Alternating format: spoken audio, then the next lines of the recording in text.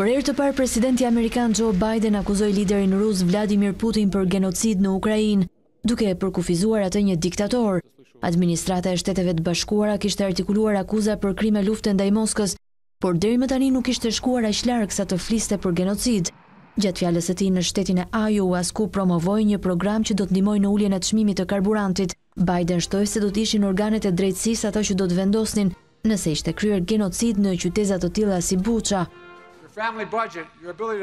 Buxheti i familjes suaj, mundësia për të mbushur serbatorin, asnjë prej këtyre nuk duhet të varet nga fakti se një diktator shpall luftë dhe kryen genocid gjysmë botë larg. Kreu i Shtëpisë së Bardhë e mbrojti edhe në një tjetër dalje publike akuzën e fortë për genocid të cilën e kishte shmangur deri më tani. E quajta genocid pasi po bëhet gjithnjë e më e qartë se Putin po përpiqet të eliminojë idenë e të qenit ukrainas, dhe provat po shtohen. Deklarata shënon një përshkallëzim dramatik të retorikës dhe tregon edhe një herë se Biden po lejon që pikëpamjet emocionale të dalin mbi politikën zyrtare amerikane lidhur me konfliktin. Autoritetet në Ukrainë i kanë përshkruar vrasjet e civilëve në qytezën e Buchas Si genocid të vërtetë dhe thonë se varre masive po zbulohen çdo ditë.